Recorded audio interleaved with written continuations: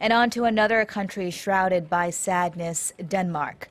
Thousands of people came together in a vigil in Copenhagen on Monday to mourn the victims of the weekend's twin attacks at a free speech gathering and outside a synagogue.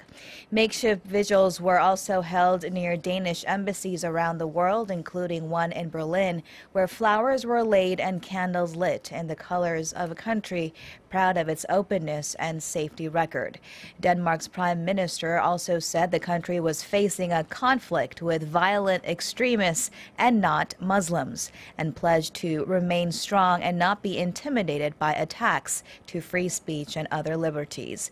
Meanwhile, local media and Reuters have identified the 22-year-old late gunman as Omar El Hussein, a man with a history of committing crime and who does not appear to be a part of a wider terror cell, according to the prime minister.